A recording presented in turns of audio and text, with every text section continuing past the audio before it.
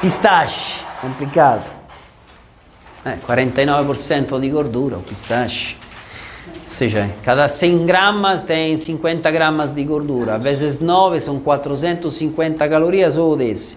Em 100 gramas são 45. Mas tarefa difícil, é? Eh? não é fácil. Porque você tem que calcular as calorias, não?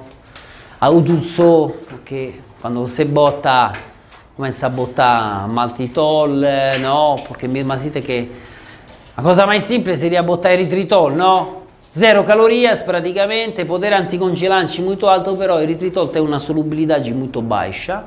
Se você coloca demais, aquele poder anticongelante que ele na verdade tem, não tem. E eu sorvete, boh, uma pedra.